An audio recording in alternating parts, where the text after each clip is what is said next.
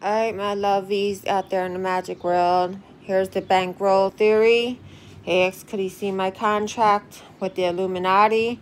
I'm assuming it's with the Illuminati. If it is with, if he met with Satan or not, I don't know, but nobody can see my contract. Oh gosh, I look a hot mess. Nobody can see my contract to Satan. That's sacred and private. Um, but I will show you guys my contract with the Illuminati. If you would like their email, let me know. I will link it to you for absolutely no price whatsoever. So let's see if we're getting the best, best shot of this. At the bottom, I'm trying to get you the best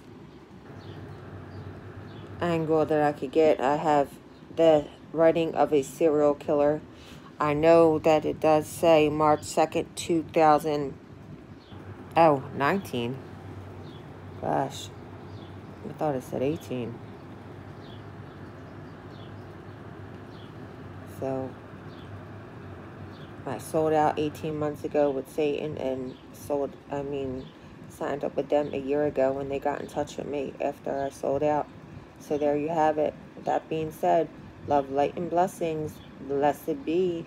Love you all. I'm back in my uh, nighty because I got to cast tonight. I'm casting tonight. All right. Bye-bye.